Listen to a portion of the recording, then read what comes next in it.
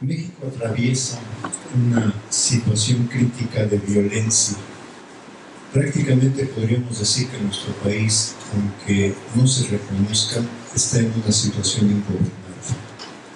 Todos los días, eh, todas las notas que podemos ver en prensa escrita, en televisión, etcétera, es eh, eh, un, un evento de violencia Varios de ellos incluyen feminicidios, pero no solamente hay feminicidios en este país, hay una cantidad de muertes permanente este, a la que no debemos acostumbrarnos.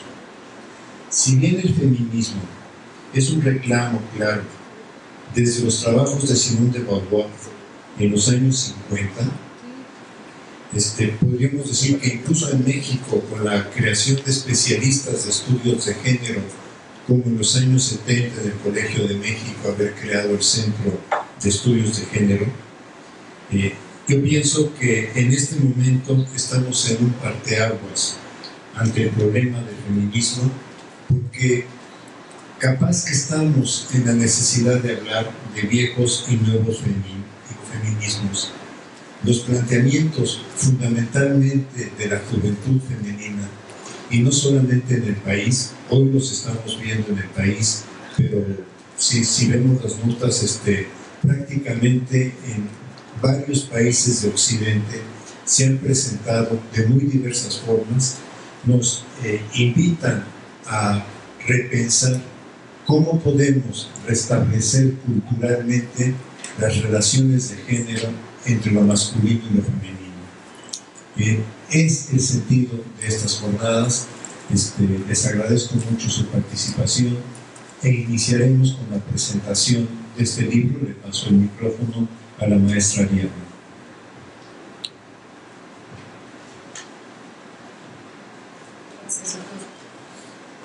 Pues buenas tardes a todos. Eh, en el marco de los festejos del 35 aniversario de nuestro posgrado en educación, me complace dar inicio la, presentación de los eventos este, que conforman esta jornada. Y quisiera resaltar dos, eh, dos aspectos eh, en específico de esta presentación. Me complace eh, primeramente porque este, estas jornadas concretan el esfuerzo de los trabajos académicos que han desarrollado, que se han desarrollado en la comunidad académica, tanto parte de nuestros académicos como por parte de nuestros estudiantes. Y por otro lado, porque la presentación del libro que hoy nos convoca eh, nos remite a estos temas que ya ha señalado el, doctor Ángel, pero especialmente al estudio y análisis de uno de los temas que sin duda han sido motivo de controversia y discusión en nuestro país, que es el del embarazo y el aborto pero de manera específica el que acontece en jóvenes universitarias y, que refiere a dar respuesta a preguntas tales como ¿qué factores influyen en el embarazo de las jóvenes universitarias y cuáles son las situaciones que enfrentan desde el momento en que tienen conocimiento de su embarazo en los diferentes ámbitos de su desarrollo? ¿Y cuál es el papel de las universidades ante estas situaciones? Eh, en este evento otra, otra de las cuestiones por las cuales me complace estar moderando eh, es porque nos acompañan dos académicos muy apreciados en el programa de posgrado, que son el doctor Ángel Díaz Barriga y la doctora Mariela Jiménez. Además de tener eh, la presencia de la doctora del libro, eh, la doctora Mariana Rosario Texas. Y bueno, para dar inicio a, a la presentación, me voy a permitir presentar a nuestro primer comentarista, a nuestra primer comentarista, que es la doctora Mariela Jiménez Vázquez. Y eh, para esto me voy a, voy a realizar una lectura breve de una lectura de su semblanza con La doctora Mariela Jiménez Vázquez es maestra en educación superior y doctora en educación por la Universidad Autónoma de Tlaxcala Coordina los programas de maestría y doctorado en educación, este último con reconocimiento de posgrado de calidad por el CONACYT y la maestría en educación. Trabaja en las líneas de investigación, estudios de trayectorias de egresados, mercado de trabajo, procesos de formación de los actores educativos y educación básica, en donde ha desarrollado trabajos relativos a la tutoría académica y de los cuales eh, pues han surgido diversos trabajos de investigación, diversos productos, perdón, de, investigación. Es autora del libro Trayectorias Laborales y Movilidad Ocupacional de Biólogos Agropecuarios de la Universidad Autónoma de Tlaxcala y coordinadora de los libros La tutoría en la escuela secundaria y Fundamentos de la acción tutorial. Ha escrito eh, capítulos de libro y artículos en revistas especializadas en educación ha participado en la coordinación de proyectos interinstitucionales de investigación evaluación docente en América Latina, en los casos de Chile, Colombia, México y Perú, y reformas curriculares en América Latina, el periodo 1990-2015. Ha coordinado el Comité Académico del Congreso Internacional de Educación, Currículum y Evaluación desde 2007 hasta la fecha.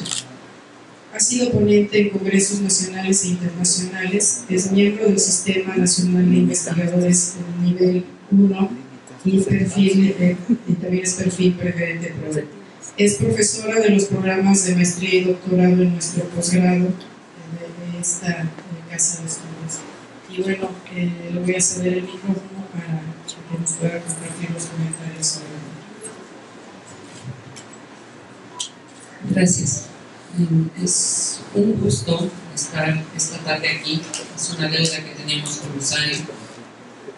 El libro se publicó en septiembre del año anterior. Sin embargo, teníamos eh, enseguida el Congreso Internacional de Educación y toda la consecuente eh, actividad que, implica, tanto académica como administrativamente. Y bueno, pero las deudas se cumplen y hoy estamos aquí. Algo que mencionaría también y que creo que complementa lo que leía la maestra Ari es el grupo de investigación en trayectorias que hemos conformado en nuestro posgrado.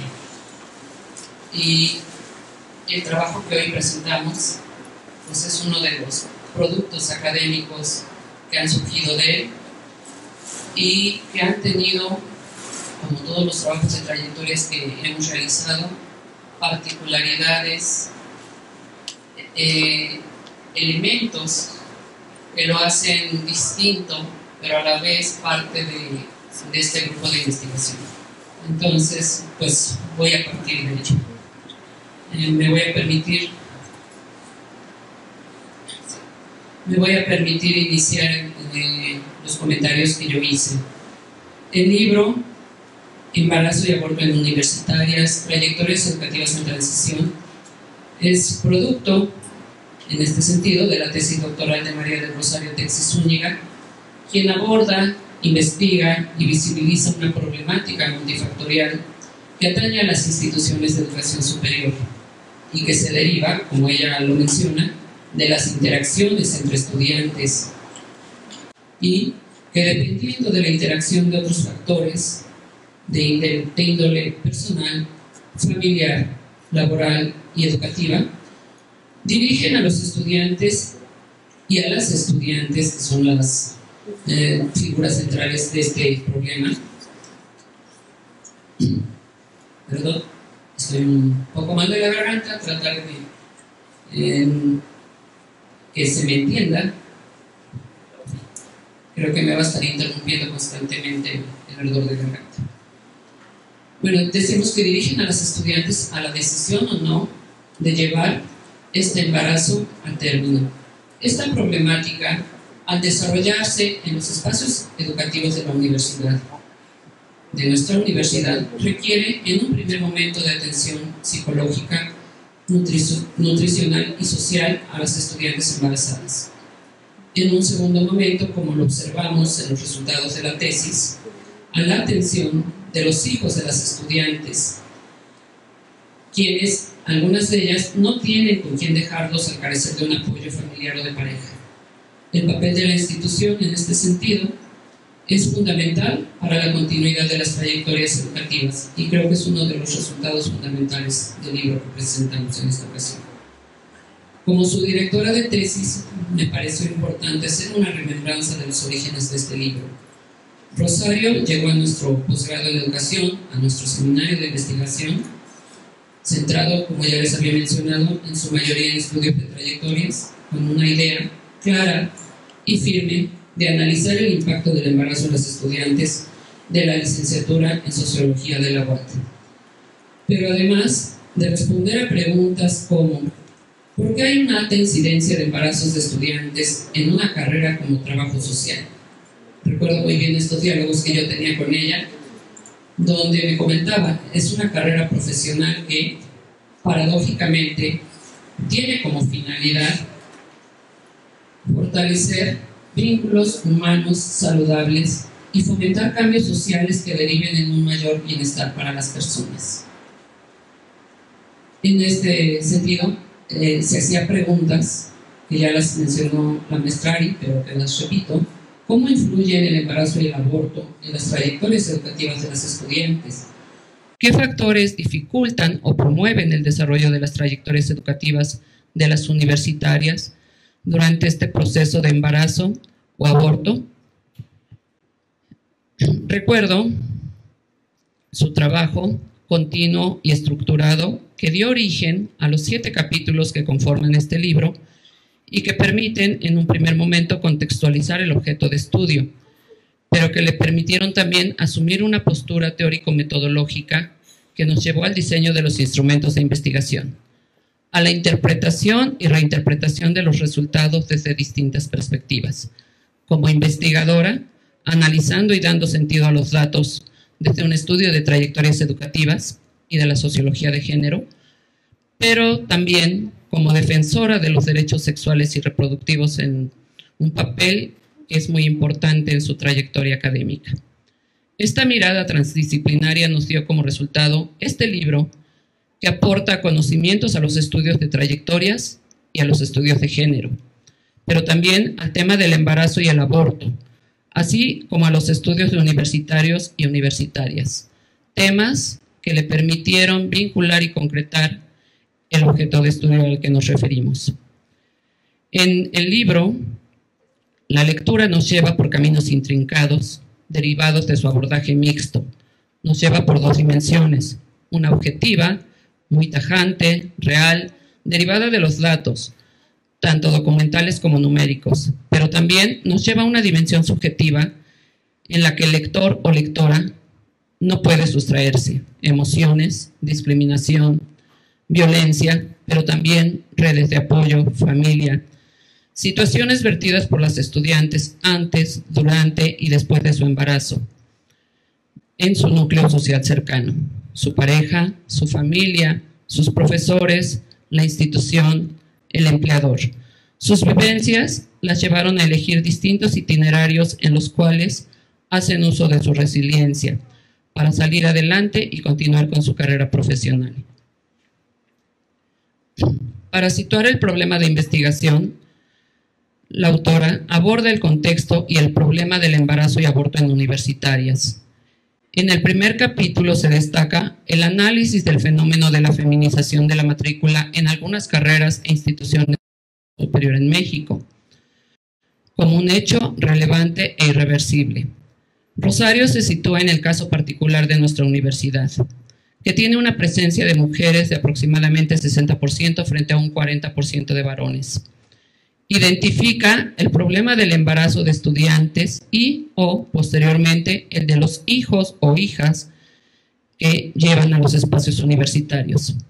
Al carecer de una red de apoyos y especialmente en la Facultad de Trabajo Social, Sociología y Psicología, que tiene una población mayormente femenina, el 78%, de la cual la población participante en el estudio, un 65%, de ellas el 15% ha vivido una situación de embarazo o aborto, una situación que es altamente relevante. Posteriormente, en el segundo capítulo, Rosario da cuenta de la construcción del estado del arte a partir de tres temas, que los recuerdo como si fueran el día de ayer, embarazo y aborto, trayectorias, tanto escolares como de transición a la vida adulta, y estudios de universitarios y universitarias. En el estado del arte, Rosario clarificó las ideas respecto al tema, lo definió, lo acotó y lo abordó desde la mejor perspectiva a partir del análisis de la red de investigaciones que en este campo existen y que ella muy acertadamente vinculó. En este sentido, le permitió articular, creo yo, de manera magistral, su objeto de estudio como trayectorias en transición, embarazo y aborto entre universitarias. A partir de la asunción de su postura teórica metodológica, que se describe ampliamente en el capítulo 3, denominado Juventud, Trayectoria Educativa y Embarazo. En él, Rosario interpreta la visión sociológica de la juventud para definir las trayectorias educativas en transición, abordando tres dimensiones, la educativa, la laboral y familiar, así como el tema de embarazo y aborto desde una perspectiva de género, analizando temas como violencia contra las mujeres, embarazo no deseado y aborto.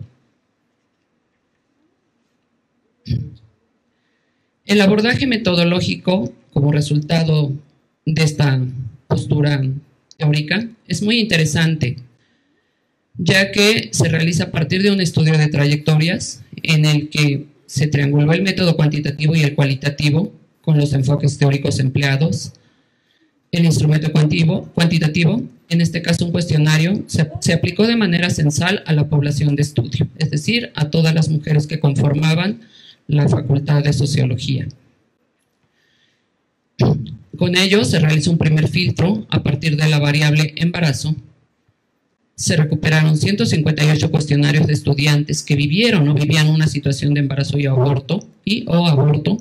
Se recuperaron de ellas datos como inicio de la vida sexual, uso de métodos anticonceptivos, edad del primer embarazo y recurrencias de este. Estos datos permiten entender en su contexto las situaciones vividas por las estudiantes. El instrumento de investigación también permitió triangular tres dimensiones de la vida de las estudiantes, la familiar, la escolar y la laboral, con datos como la conformación de la familia, las redes de apoyo de las que disponían, el desarrollo académico, la continuidad o discontinuidad de la trayectoria, así como las características del empleo para quienes lo tenían.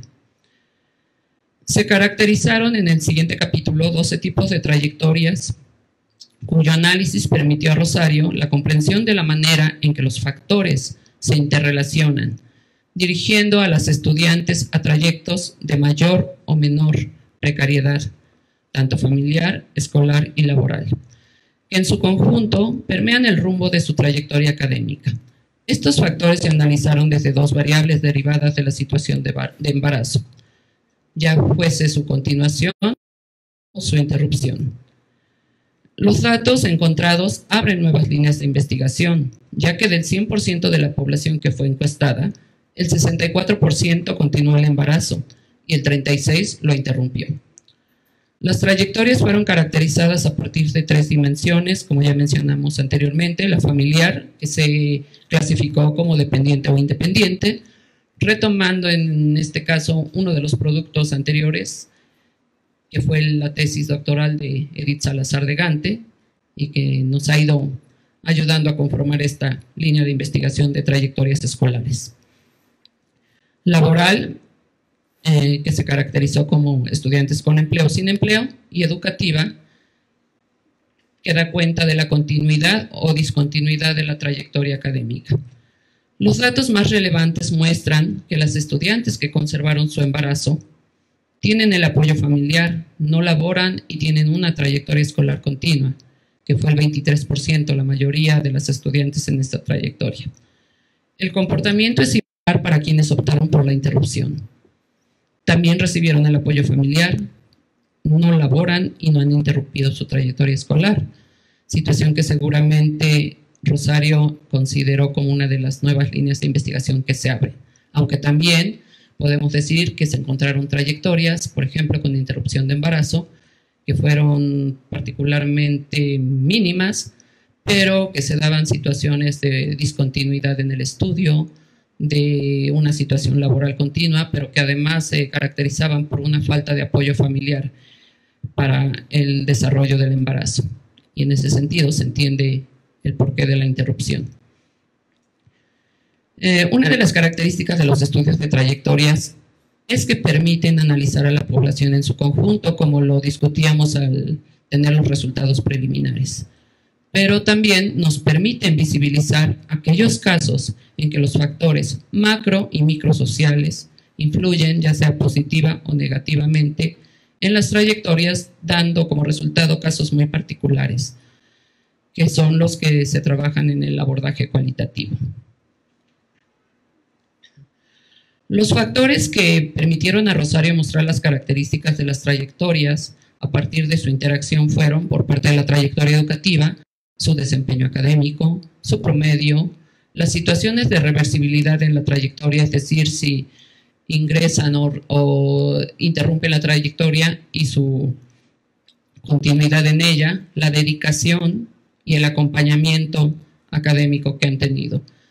Respecto a la trayectoria laboral, analizó eh, algunos indicadores como las prestaciones, es decir, qué prestaciones, qué nivel jerárquico, qué relación con sus estudios tiene el empleo, el tiempo en que han estado empleadas y el pago mensual que reciben. Estos, estos eh, indicadores nos dieron datos realmente alarmantes en su mayoría para aquellas estudiantes que trabajaban.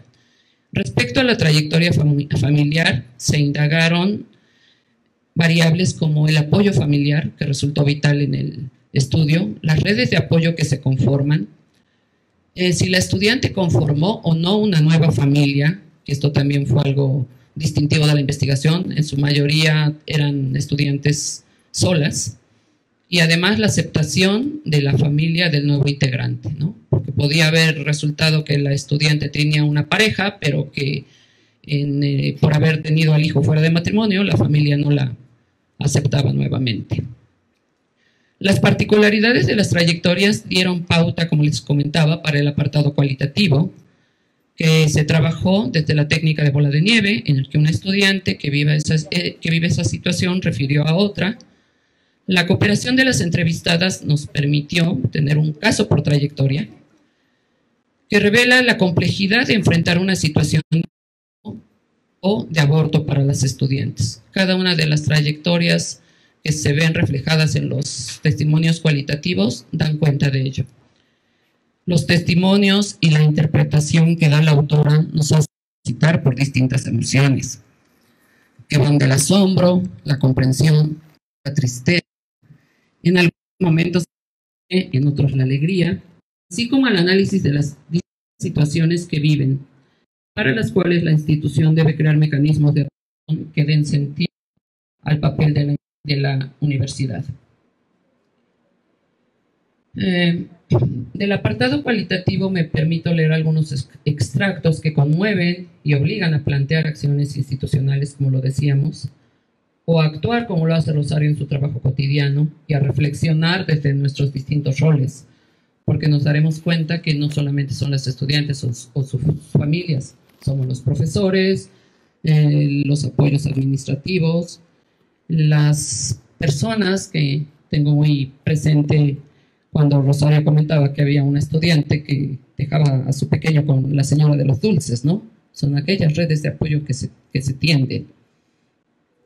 En este testimonio eh, que está descrito por Rosario, donde los nombres de las estudiantes obviamente son anónimos, bueno, son sinónimos, podríamos decir, Salma, al estar inmersa en una relación donde vive violencia psicológica y emocional, decidió ir a vivir con su pareja y rentar, pero desafortunadamente su pareja no aporta los gastos del hogar y ella es quien ha tenido que buscar alternativas diferentes para conseguir dinero.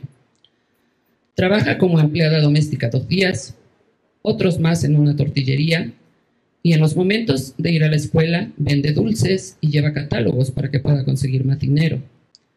Y bueno, a partir de aquí viene el testimonio aprendí y mi esposo me dice que si trabajo duro, podremos salir adelante. Mientras él cuida a mi bebé, yo voy a trabajar. Que si voy a ayudar a hacer tortillas a una señora y me da mis 100 o 120 pesos, o que si voy a ayudar a hacer una o dos casas, a lavar y hacer el quehacer, son otros 150 pesos por casa. O que si vendo mis dulces en la escuela o llevo mis catálogos de Bon con mis compañeras, eso me ha resultado, pero veo las cosas difíciles. Salma, de 23 años. La precariedad de condiciones que viven las mujeres, esto también es ya textual de Rosario, al no contar con apoyos sociales y familiares, genera eventos desafortunados en el ámbito económico y laboral. O también nos refiere el caso de otra estudiante, a quien denomina Maggie, que nos hace comprender la falta de preparación de algunos profesores y la urgente necesidad de atender este problema. Me remito nuevamente al texto de Rosario. La decisión del aborto corresponde a las mujeres. Sin embargo, sigue prevaleciendo la violencia hacia ellas y reaparece el fenómeno de la subordinación y el amor romántico obstaculiza la toma de decisiones, así como el empoderamiento de las mujeres, de su cuerpo. Lo que sucedió a Maggie fue una situación complicada al romper toda su confianza, ya que las amigas y compañeras que les, a las que les había comentado sobre su embarazo, durante una tutoría lo comentaron. Y entonces viene el testimonio de Maggie, 20 años. La profesora me llamó por mi nombre y me dijo, ya me contaron que hiciste, si bien que pudiste abrir las piernas, ¿por qué no te hiciste responsable? Dios te va a castigar y te vas a quedar sin tener hijos. Me sentí muy mal, estuve a punto de ponerme a llorar, pero recordé mucho de lo que había platicado con quienes me habían apoyado para ir a México y solo le dije, es mi cuerpo y yo decido. El estigma que prevalece en la práctica del aborto es muy recurrente, no solo en los ámbitos universitarios, sino en el contexto social mexicano, donde no se reconoce el derecho a decidir de las mujeres. Estos testimonios e interpretaciones dan cuenta del valor de este texto. Es una visión integral del análisis de este problema, abordado de una manera rigurosa, sistemática y original en este campo. Mm, si nos preguntáramos quiénes deben leerlo, pues creo que todos, estudiantes, hombres y mujeres, profesores, profesoras y autoridades, tanto institucionales como estatales. Y bueno, cierro esta participación, felicitando nuevamente a Rosario. Ella quedó con líneas de investigación abiertas en este texto. En algún momento discutíamos que sería importante que ahora hiciera un estudio, pero desde la perspectiva de los hombres. ¿Qué piensan ellos? Y creo que es un trabajo que tienes pendiente. Gracias.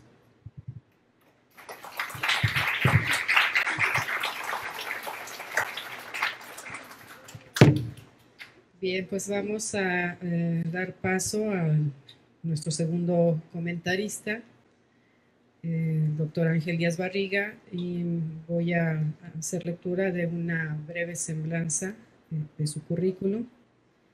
El doctor es maestro y doctor en pedagogía por la Facultad de Filosofía y Letras de la Universidad Nacional Autónoma de México, investigador emérito del Instituto de Investigaciones sobre la Universidad y la Educación, ISUE, de la UNAM y miembro del Sistema Nacional de Investigadores con el nivel 3. Ha recibido el doctorado honoris causa por, seis instituciones, la Universidad Nacional Lomas de Zamora, Argentina, así como la Universidad Autónoma de Colima, la Universidad, Universidad Autónoma de Tlaxcala, la Universidad Autónoma de Baja California, la Universidad Autónoma de Querétaro y la Universidad de Buenos Aires. Fue director Centro de Estudios sobre la Universidad, CESU de la UNAM, durante el periodo 1995-2003 y director de Estudios Estratégicos en la NUYES de 2003 a 2005. Sus principales líneas de investigación son didáctica, currículum y evaluación educativa. Es autor de más de 80 artículos en revistas especializadas en educación, así como autor, coautor y coordinador de diversos libros. Entre sus principales obras como autor se encuentran didáctica y currículum, ensayo sobre la problemática curricular, tarea docente, empleados y egresados universitarios, el docente y los programas escolares y pensar la didáctica. Ha sido coordinador de diversos libros. También ha presentado más de 800 ponencias en eventos nacionales y en el extranjero. Es miembro de la Academia Mexicana de Ciencias, del Consejo Mexicano de Investigación Educativa y de la Asociación Francófona de Investigación Educativa. Es profesor invitado de nuestro posgrado y coordinador académico del mismo. Y bueno, eh, le vamos a dar la palabra al doctor.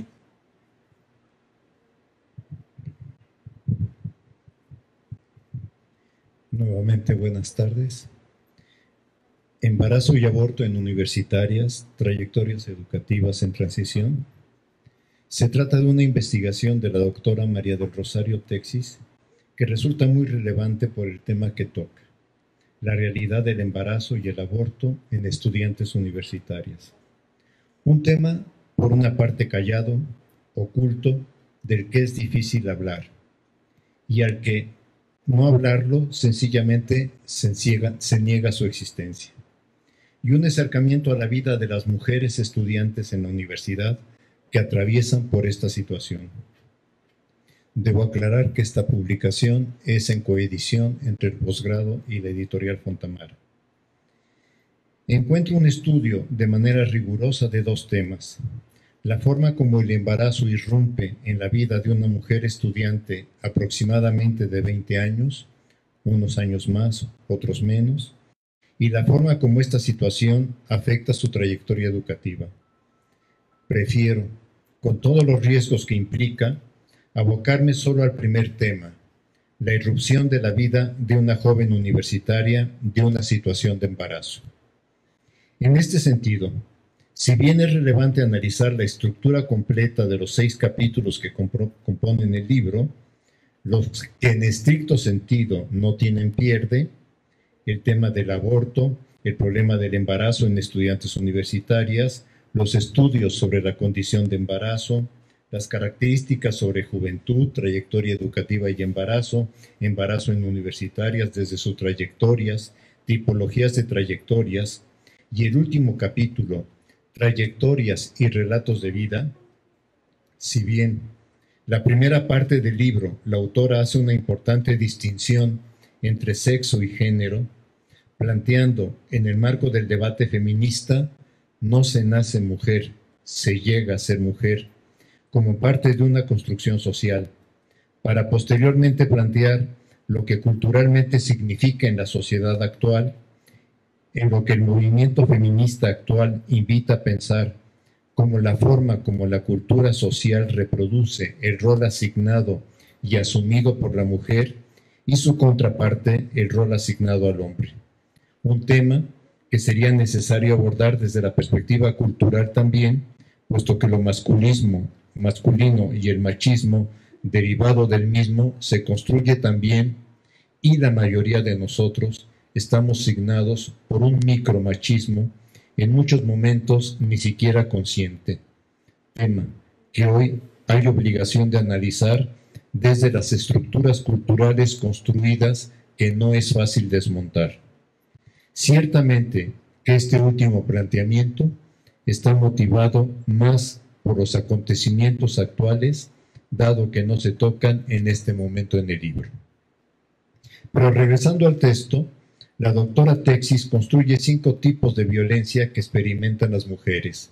La física, lamentablemente la más evidente en las circunstancias sociales que vivimos en este momento, aunque quizás socialmente solo se ve una parte de la violencia física, porque mucho de ella pasa en ámbitos privados, en espacios que comúnmente llamamos casa u hogar. La psicológica, la sexual, la económica y la patrimonial.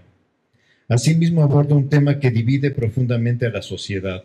Ciertamente, la inclusión religioso-cultural se encuentra detrás del mismo, el aborto. El aborto como un problema de la sociedad mexicana que en el plano jurídico victimiza a la mujer, le impide ejercer su derecho sobre la propiedad, sobre su propia corporeidad. Para iniciar lo que desde mi perspectiva es la parte más rica del estudio, identificar cómo de las 686 estudiantes de una facultad universitaria cuyas edades fluctúan entre 18 y 29 años, se pueden identificar 158 casos que refirieron haber vivido la experiencia de un embarazo con independencia de su continuación o interrupción. En este grupo de las 158, más del 50% de las jóvenes estudiantes iniciaron su vida sexual a los 12 años, esto es, al concluir la primaria o secundaria, que, o, iniciar la secundaria, lo que invita a repensar las propuestas de educación sexual que tiene nuestro país. Eh, el otro porcentaje de mujeres inició su vida sexual a los 18 o 19 años. Este, solo el 65% de estas mujeres, del total, usaron algún método anticonceptivo en su primera relación sexual, siendo los más comunes el condón masculino y la pastilla anticonceptiva. Si bien la edad de embarazo es a los de promedio es a los 19 años y en números gruesos en la población estudiada entre 18 y 20 años a grandes rasgos, aunque se pueden encontrar pocos casos, pero no menos relevantes, de embarazos a los 15, 16 y 17 años. Posteriormente, la investigadora realiza una tipología de las trayectorias universitarias de estas mujeres, tema que en esta presentación no voy a tocar. El penúltimo capítulo, en mi opinión, es una joya de trabajo en el libro. La investigadora logró realizar una entrevista a profundidad a 12 estudiantes que aceptaron participar nos presenta el relato de mujeres, en este caso voy a tomar dos, que eh, estudiantes de octavo semestre que se han embarazado. Una, a pesar de usar métodos anticonceptivos, y otra pensando que solo tenía relaciones ocasionales y que por esto no se iba a embarazar. Plantea cómo afecta su relación familiar, padres y madres que reaccionan de manera diferente, regañando, apoyando, y o estableciendo la advertencia de asumir nuevas responsabilidades en caso de que tengan al hijo. Al mismo tiempo, cómo afecta esta eh, situación su asistencia a clases por problemas propios del embarazo, cómo afecta la entrega de trabajos y sus calificaciones. Una de estas estudiantes se presentó a la universidad a la semana de haber tenido su parto. La otra decidió abortar para cumplir con su meta de lograr primero su graduación. Una conservó el apoyo de su pareja, la otra no se lo planteó a su pareja, precisamente porque consideraba que la relación que tenía con ella no era solamente ocasional. Quiero referirme a otros dos casos en que las estudiantes de 20 años se descubren embarazadas.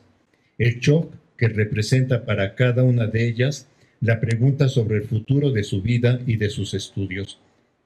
Una de estas estudiantes que trabaja para ayudar en su casa y para pagar la universidad, y ahora enfrenta un bebé porque su embarazo ya tiene cinco meses. Su pareja la apoya, pero su madre no. Su madre la obliga a salirse de la casa. Llegar a la casa del novio le crea conflictos en su cambio de vida. No tienen dinero, dice, ni siquiera para salir a tomar un refresco los sábados y los domingos. Expresa su frustración ante sus nuevas condiciones de vida. Otra estudiante, que por el contrario, con su novio deciden después de muchas dudas si tenemos al niño o no tenemos al niño, realizar el aborto, pero su madre se entera cuando regresa de la Ciudad de México, donde realizó el aborto, y obviamente es regañada cambia su relación familiar, la dejan, le dejan sin hablar en su familia y finalmente termina también su relación con su pareja. A continuación presenta otros dos casos, de un estudiante de séptimo semestre y otra de tercer semestre. Una de séptimo semestre con apoyo de su pareja, pero que se va a vivir a casa de él y vive permanentemente una tensión con su suegra. Asume que quiere tener al bebé, pero encuentra que su pareja va cambiando en su forma de tratarla. Encuentra que sus refugios son sus amigas y la universidad. En la universidad, dice ella, se vive tranquila, no asediada. Sus amigas le ayudan a cargar la mochila, le ayudan a vender sus productos. Tiene al bebé en vacaciones y al regresar a la universidad considera que los maestros le dan apoyo. Mientras que por otro caso, en situación contraria, de estudiante del tercer semestre ni siquiera se lo quiere plantear a su novio. Afirma que no se lo plantea porque es muy machista. Se pasa tiempo cavilando hasta que decida abortar en la Ciudad de México. Abortar no es una decisión fácil. Quiérase o no, en forma individual se enfrenta toda una doctrina moral que ha sido inducida y permanece en la sociedad. En su soledad, la estudiante afirma, me sentí mal, venía remordimiento y angustia por si algo me pasara. Hace también una reflexión muy relevante, eh, sin tomar en cuenta, a pesar de que pues, estaba en tercer semestre, un tema que los psicoanalistas, en especial Igor Caruso, han trabajado con buen tino, y es cuál es el destino del hijo no deseado, del hijo no amado. La estudiante afirma, ¿por qué traer una persona al mundo si no nos vamos a ser responsables del mismo? La decisión de abortar, en este caso, le trajo lamentables consecuencias en la universidad. Sufre una agresión que no tiene nombre de parte de una profesora que se entera del suceso. La investigadora la describe con significativa textualidad en su libro. Yo prefiero no hacerlo, pero seguramente muestra no solo la incomprensión, sino una forma de agresión que ningún ser humano se merece vivir y que no solo los hombres agreden a las mujeres, sino que muchas veces las mujeres también se agreden a sí mismas. Muestra para la circunstancia cómo que como país vivimos en este momento, que el cambio cultural hacia una nueva estructura social donde conviva el feminismo y la masculinidad demanda una modificación de la estructura que ni siquiera hemos pensado. Y en lo concreto es una muestra que no solo los docentes varones tenemos que replantearnos nuestras formas de relación con la mujer, sino que también las docentes mujeres tienen que replantearse esa forma de relación. Muchos otros ejemplos se encuentran en este capítulo de más de 50 páginas. Quiero hacer énfasis en ello porque me parece este, muy importante la densidad que tiene el capítulo. No menosprecio la perspectiva de análisis que utilizó Rosario en su investigación Trayectorias Educativas, pues finalmente cómo embarazo y aborto es un tema que tiene que ser objeto de reflexión en la vida universitaria. Pero quiero subrayar que desde mi perspectiva me resulta más atractivo leer y releer estas más de 50 páginas de testimonios de las jóvenes estudiantes entrevistadas. Testimonios crudos, valiosos, significativos, difíciles de realizar en una investigación sobre el tema. Seguramente las entrevistadas y Rosario vivieron varias emociones en estas, en estas entrevistas Estoy seguro que en varias de ellas hubo lágrimas que representan esos conflictos, esas vivencias personales intensas que no habían podido aflorar. Este estudio nos obliga a cambiar la perspectiva que tenemos de la niñez y adolescencia en nuestros días. Los textos que abordan, los textos que se enseñan en los cursos de psicología de la infancia y psicología de la adolescencia reflejan una infancia y adolescencia de otra época, de otra era. La sociedad actual realiza una sobreestimulación sexual de manera muy temprana. El niño y el adolescente han dejado de ser hace tiempo eh, lo que se había dicho de ellos. También se requiere repensar qué significa y qué viven los estudiantes universitarios en este momento.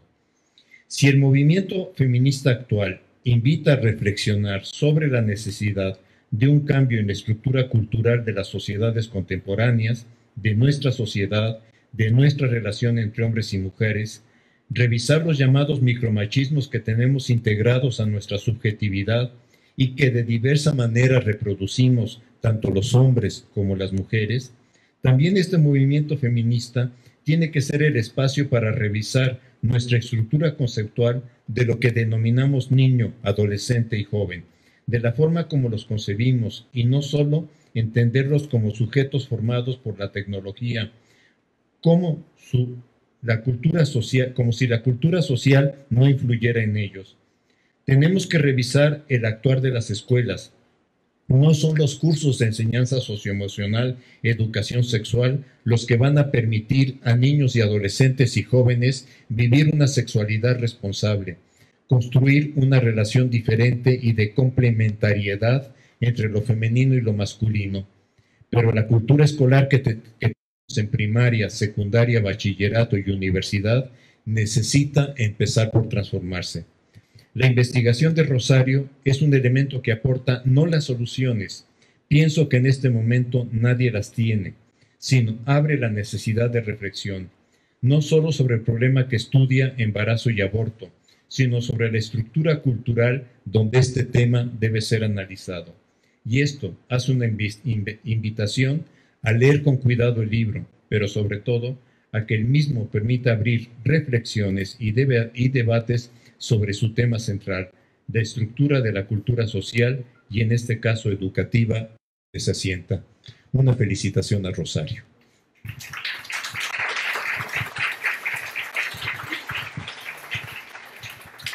Muchas gracias, doctor. Bueno, eh, la siguiente participación es la de la autora del libro del libro Embarazo y Aborto en Universitarias, Trayectorias Educativas en Transición. Y eh, también voy a leer una eh, semblanza de su currículum. Es licenciada en Trabajo Social, maestra en Ciencias Sociales y doctora en Educación por la Universidad Autónoma de Tlaxcala. Cuenta con una especialidad en Sexología Educativa. Es investigadora y docente de la Facultad de Trabajo Social, Sociología y Psicología de la Universidad Autónoma de Tlaxcala. Sus líneas de investigación son embarazo, aborto, género, juventudes, derechos sexuales y reproductivos, violencia de género y educación. Ha publicado un libro y artículos en revistas a nivel nacional e internacional. Ha participado como conferencista, tallerista, capacitadora y ponente en eventos nacionales e internacionales en Colombia, Perú, Argentina, Uruguay, Chile y Costa Rica. Actualmente colabora eh, con el Cuerpo Académico Ciencias Sociales Aplicadas en la Universidad Autónoma de Tlaxcala. Adicional a su labor docente, se desempeña como directora estatal de la Red de los Derechos Sexuales y Reproductivos en México, de SER, así como asesora nacional de la Red de Jóvenes de ser y coordinadora regional de la Estrategia 2 de acompañamientos de aborto legal y seguro en la zona norte del país, pertenecientes a equidad de género, ciudadanía y trabajo y familia. Forma parte del grupo de consultoras del Instituto Estatal de la Mujer, es especialista y experta invitada para incluir la perspectiva de género en investigaciones del Instituto Nacional Electoral Actualmente ha sido designada como integrante académica del Grupo de Trabajo de la Solicitud de Alerta de Violencia para el Estado de Tlaxcala, que implementa la Comisión Nacional para Prevenir y Erradicar la Violencia contra las Mujeres.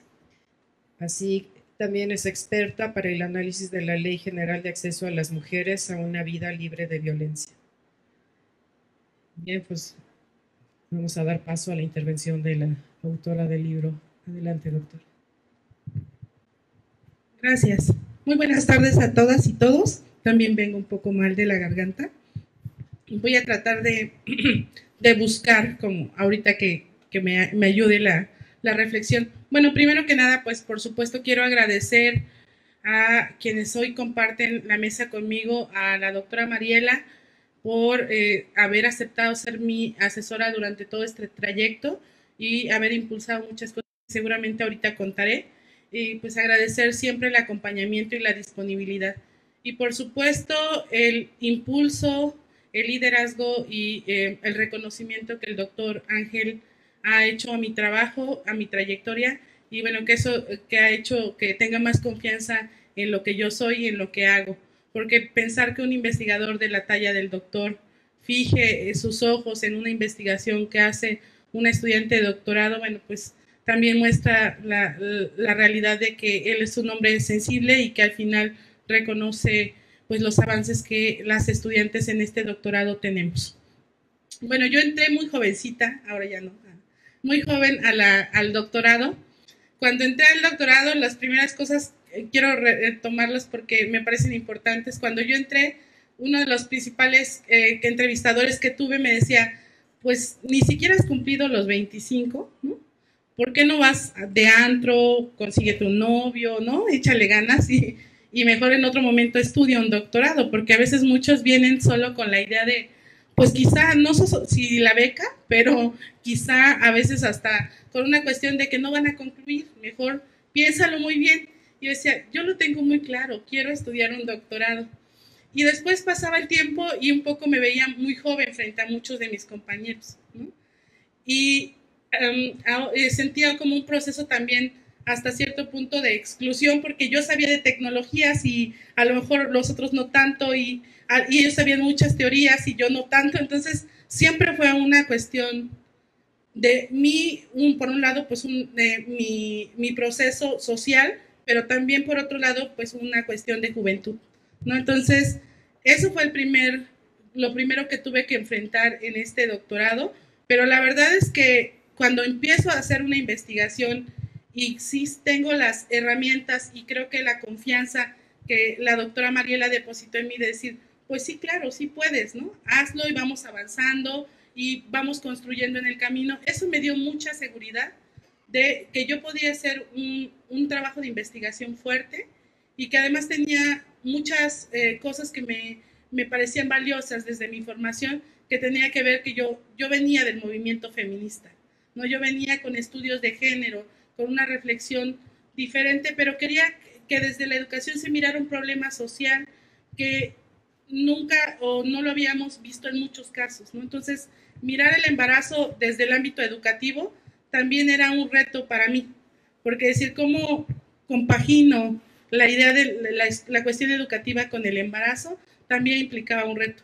Creo que ese fue la primer, el, primer gran impedimento que en algún momento vi de, creo que mi tema no va aquí, ¿no? Creo que mi tema es más de, otra, de otras áreas, pero después, justo con este acompañamiento que hoy digo, eh, tiene que ver así, ¿no? que creo que sí puedo y sí entra un tema en el ámbito educativo, un problema social y que impacta en estos problemas de trayectorias, en estas situaciones educativas. Y creo que eso fue lo que fue formando esta trayectoria que finalmente construyó y construí para tener em, un libro y para tener un buen resultado de investigación. Comencé a estudiar el embarazo y el aborto como un problema social porque yo veía que en la facultad de trabajo social, sociología y psicología había un problema grave.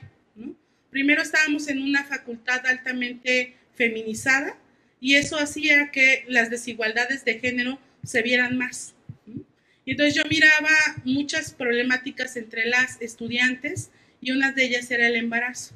Pero muchas de esas estudiantes que miraba embarazadas también miraba que no sabían qué hacer frente a esta situación y tampoco sabía cómo apoyarles para, eh, pues para que su realidad cambiara.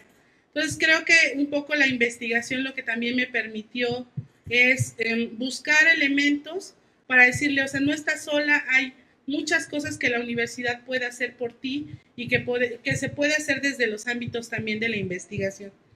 En el tema del aborto, como bien lo ha dicho el doctor Ángel, es un tema bastante complicado y complejo porque al final em, juega muchas cuestiones ideológicas, ¿no?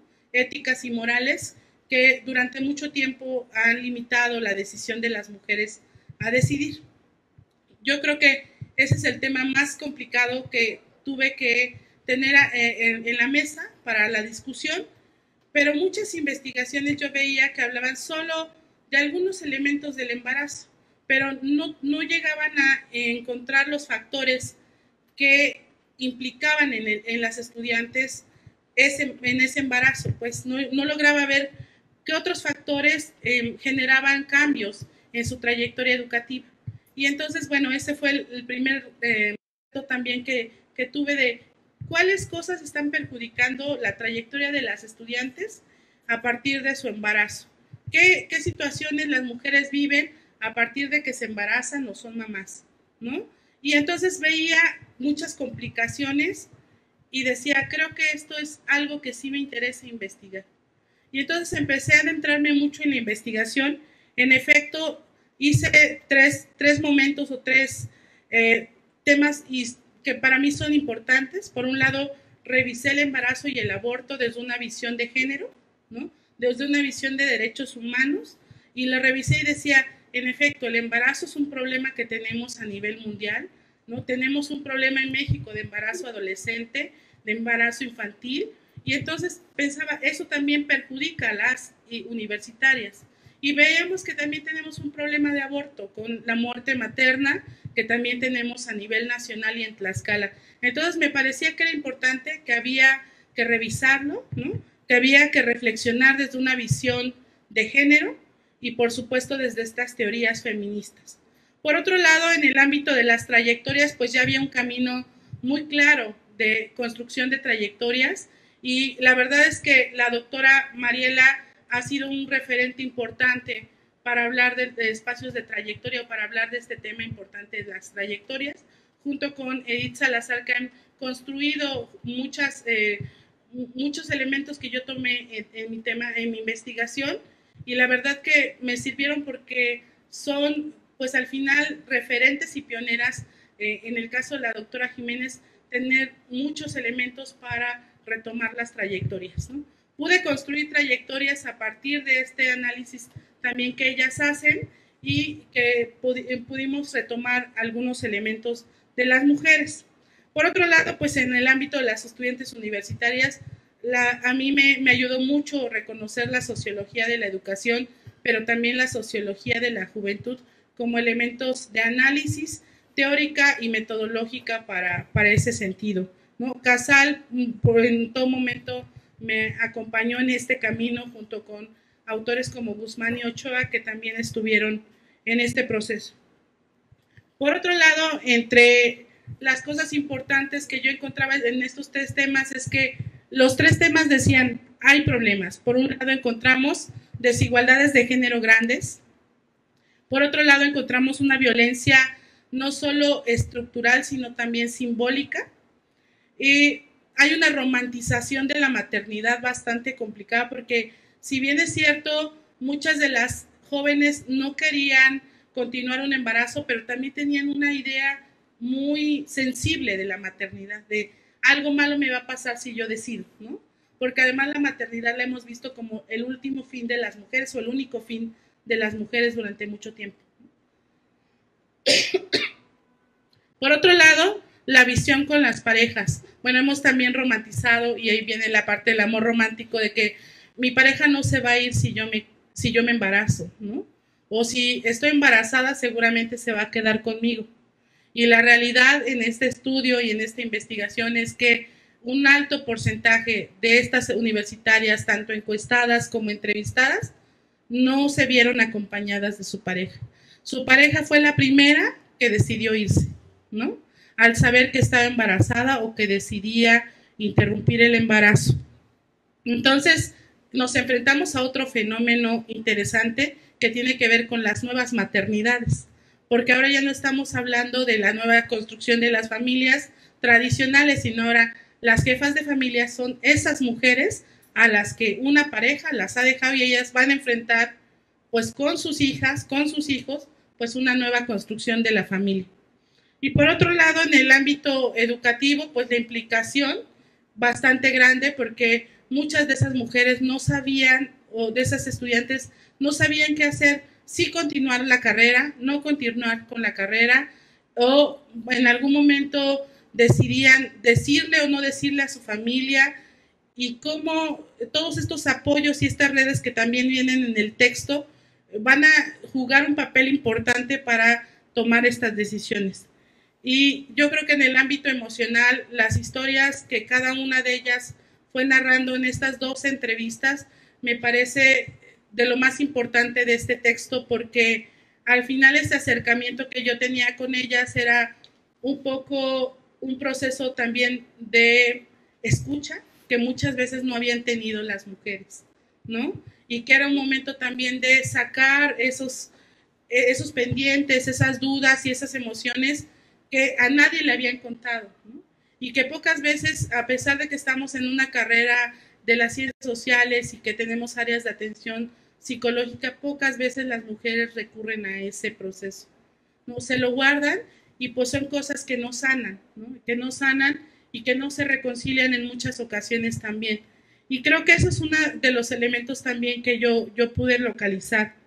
Por supuesto, los factores familiares, escolares y laborales pesan mucho para la construcción de trayectorias eh, y para el tema que, que abordo. Si la familia no apoyaba a las chicas, muchas de esas chicas no podrían continuar con la carrera o tenían que vivir otros tipos de violencia. Por ejemplo, la violencia que ejercen las suegras, ¿no? Al que ya estás con el hijo y ahora pareciera que no, no eres una nueva familia, eres parte de esta familia y ahora pareciera que eres la empleada doméstica de esta familia, ¿no? Y entonces ese papel es muy, muy cruel porque al final muchas de esas chicas vivían ese proceso. No encontraban refugio en su familia y en su casa y donde iban a parar era un proceso violento también de recibirlas. Por otro lado, la, cuestión machista y también desobligada de los hombres que también tiene que ver de las construcciones de las masculinidades, de decir, pues trabaja tú porque te embarazaste tú. Yo aquí espero, yo aquí cuido al niño, pero quien va a hacer todo el esfuerzo porque tú me obligaste a casarme, a juntarme contigo, pues eres, o sea, tú eres la que tienes que cargar con esta, con esta pena, Otra vez tiene que ver con una cuestión violenta, una cuestión machista y por supuesto misógina hacia los derechos de las mujeres. Por el ámbito escolar, pues muchos docentes sí permitían que las estudiantes pudieran combinar su maternidad con ir a la escuela, pero muchos docentes parecía que no. Había compañeras que tendrían que regresar muy pronto a, las clases. ¿Por qué? Porque había que cumplir con los tiempos académicos. Y entonces, pues no había, no, había forma de apoyarles. Y si no cumplían, pues estaban reprobadas, ¿no? Y por otro lado, había un proceso grave de exclusión y que todavía me parece que sigue permeando en, en estos espacios donde mejor no quiero hacer equipo con la, con la que está embarazada porque no va a llegar, ¿no? O con la que acaba de parir porque no va a llegar y yo voy a terminar haciendo el trabajo. Y eso es muy, muy difícil y quiero mostrarlo, pero a partir de esta experiencia de investigación y ahora la experiencia de formación lo sigo viendo que es complicado este engranaje entre el ámbito escolar y una decisión personal. Por otro lado, en el ámbito laboral, pues, ¿qué les puedo decir? Prestaciones no tenían, ¿no? Quien trabaja, trabaja como en efecto, en, estos casos, empleada doméstica, empleada de mostrador, vendiendo cosas en la calle o en la escuela. Y pues eso no te da ninguna prestación ni de salud, ni pues, ¿no? Y por otro lado, pues obviamente no estaba ni siquiera relacionado con lo que estaban estudiando. Muchas de estas chicas pues tienen que conseguir un empleo que les paguen 100 o 200 pesos el día, bueno, 200 es mucho, ¿no? 100, 100 pesos el día para poder combinar la escuela con, pues obviamente, su situación. Y que los pagos eran muy, muy, muy bajos y que ellas se tendrían que conformar con esos pagos. Y entonces la precarización de cada día iba más y las desigualdades cada día aumentaban. Yo creo que este texto em, y esta investigación me permitió sí revisar el problema, pero creo que también entender mucho de lo, de lo que pasaba en, en esta facultad en la que doy clases, pero también repensarlo en la universidad. Muchas de estas estudiantes están viviendo una situación parecida o similar a la que yo narro en este, en este documento y que muy pocas cuentan su historia y que muy pocas se atreven a decir necesito un apoyo, ¿no? Y bueno, justo uno de los em, de estos eh, elementos que nos permitió la investigación es que a partir de, que me, de que me gradué y de que había grandes resultados, también varios, varios compañeros y investigadores también decían, pues hay que hacer algo en la universidad, ¿no?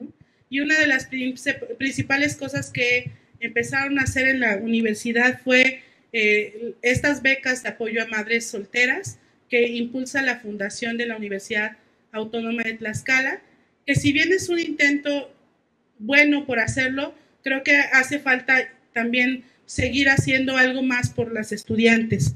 Por supuesto, la, cuestión de las becas que en muchas ocasiones benefician a las mujeres pero también hace poco hablaba con el presidente de la fundación y me decía, pero lo principal que nos escribían en la página era, pues, ¿por qué les das un premio por embarazarse?